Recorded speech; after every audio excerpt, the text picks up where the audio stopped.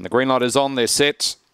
Awan Racing jumping quickly near the inside was Frida Manelli also showing speed. Patria Manelli driving through the middle was Jerky Boy and up on the inside. Bundles Galore with Astrazone together. Going wide was Trooper Manelli and West on Hawkeye sees them all. Down the back, Frida Manelli is the leader. Out by four lengths, Patria Manelli runs into second. Then followed by Jerky Boy around the outside. Bundles Galore followed by Astrazone and Trooper Manelli but off the back and it's Frida Manelli by two lengths on Patria Manelli. Bundles Galore using plenty of the track around the outside. Bundles Galore goes up, shapes up to the leaders and races past. Bundles Galore wins by three lengths on either Patria Manelli or Frida Manelli, then followed by Astrazone and Trooper Manelli. In behind them, West on Hawkeye and Jerky Boy.